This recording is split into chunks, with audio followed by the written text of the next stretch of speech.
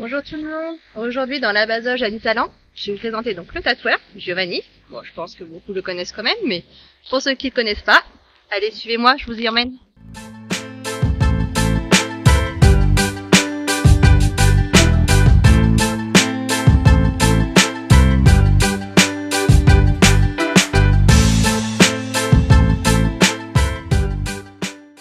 Petit coucou de Mélanie, la femme de Giovanni, qu'on verra dans un prochain numéro. Alors moi je débarque en pleine séance de tatouage. Et oui, Giovanni, je vais te laisser te présenter et nous dire euh, quelques mots sur Kaya Tattoo. Bienvenue chez Kaya Tattoo. Donc euh, moi, je présente euh, Giovanni Kawata Giovanni, originaire de la Polynésie. Donc j'ai grandi là-bas et venu ici pour le boulot en France. Donc là maintenant, je suis tatoueur à temps complet. ça fait depuis peut-être 8 ans que je tatoue et ici 4 ans, 4 ans qu'on est basé, est basé à la Bazoge. Donc plus spécialisé dans mon domaine, qui est le tatouage polynésien, bien sûr, avec les significations, mais je fais pas que ça.